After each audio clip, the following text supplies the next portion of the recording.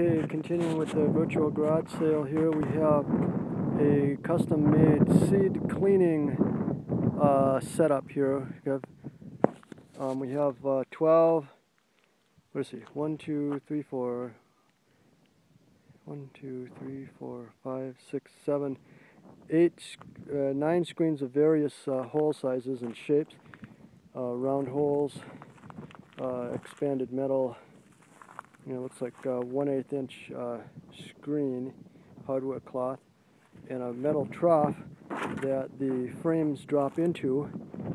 And you can clean seeds or sift compost or or uh, do any uh, number of things with the various uh, uh screens here. And it has um, what's missing is the frame to support it uh, support the trough. But the trough you know, stuff falls in and then um, it comes out the bottom here. Um, just you know, kind of gravity feeds out. Uh, you can see it's it's uh, slanted. It's a slanted uh, arrangement. So when the when the thing is up level, then the, you know the stuff will just kind of gravity feed down the trough as it, as you move it and shake it along and stuff. Uh, it's looking for a home. If you have a need for something like this, I'll give you a good deal. Okay.